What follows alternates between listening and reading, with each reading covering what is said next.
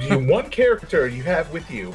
You're like you, you go to the thieves' den to hmm. capture the thieves, and and this one dude is like, she's like she's a thief, but she's like, yeah, we're we're not nobles.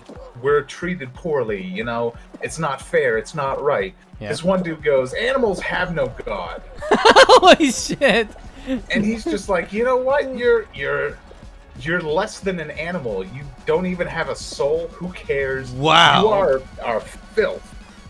and he just filth. busts out with and the main character's just he's he's shocked. He's like, Did you just say that? No. What? What? Yeah, What? you that.